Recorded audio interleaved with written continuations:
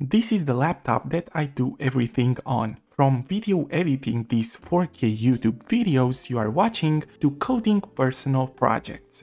It is the base 2020 M1 MacBook Air.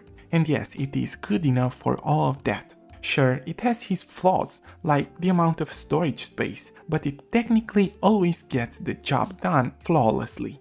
Before buying this MacBook, I always had a Windows PC like most of us, and I did not know whether the hype was real or not. Many people say that Macs are overpriced as they are from Apple, but I can honestly say that this laptop was really worth the price.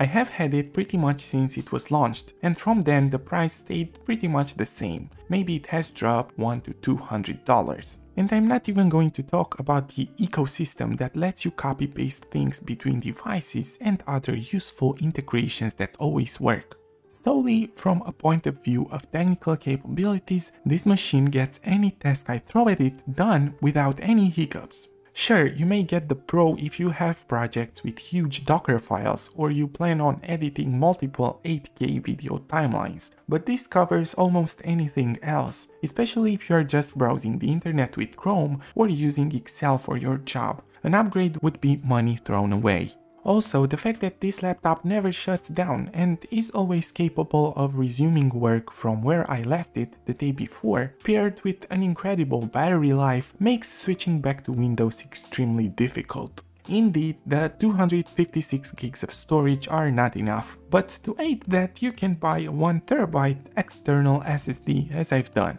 It is much cheaper than the upgrade Apple offers and the experience is similar.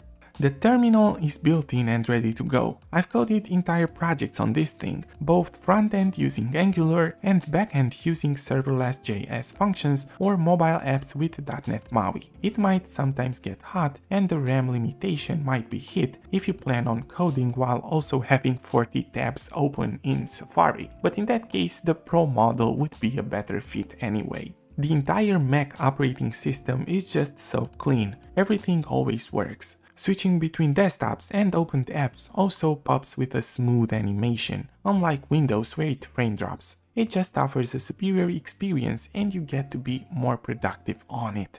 Besides purely coding and video editing, I also screen recorded entire online courses on programming, link down below all while also writing and running the code I was presenting and having a microphone hooked up to get my voice. I really couldn't believe how capable this laptop truly is and now, after 4 years almost of use, I can say I made the right decision by getting it.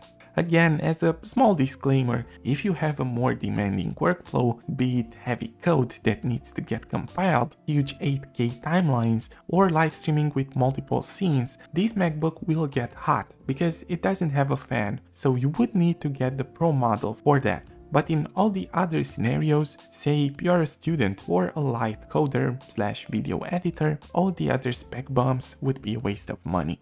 With all this being said, let me know in the comments below what were your experience with the base M1 MacBook Air and until next time, cheers and happy coding!